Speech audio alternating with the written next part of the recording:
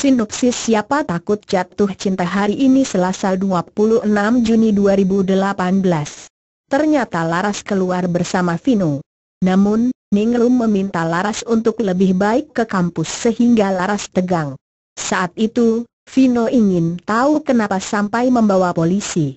Laras hendak mengajak Ningrum bicara, tapi Ningrum memintanya pergi karena ini merupakan urusan orang dewasa. Namun Biong kepenasaran karena tidak ada kabar jika Reza dan Sonia akan berpisah. Saat itu, Reza keluar diam-diam sambil membawa tas. Reza berhati-hati karena tidak ingin ada yang tahu. Sonia panik karena Reza tidak ada lagi dan sudah dicari ke mana-mana. Soraya cemas, jangan sampai Reza mengikuti care Sonia saat tidak boleh menikah. Sonia pun ikut malah. Namun, Robert justru tenang seolah hal itu bukan masalah serius. Leon meminta Dara terus terang tentang apakah Tora ingin mendekatkan Dara dengan Rangga? Dara lalu menganggap Leon salah. Tapi Leon mengungkapkan kalau hal itu memang yang terbaik untuk Dara, maka lakukan saja Dara kaget mendengar ucapan Leon.